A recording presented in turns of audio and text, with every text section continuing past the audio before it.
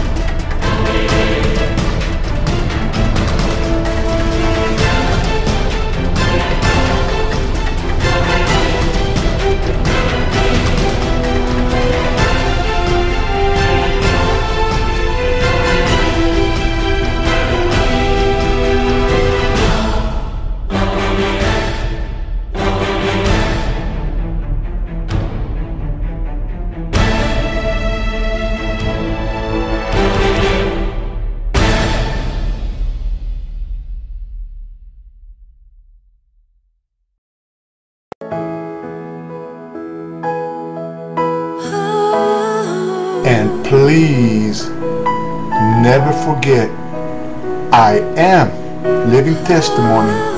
Jesus loves you.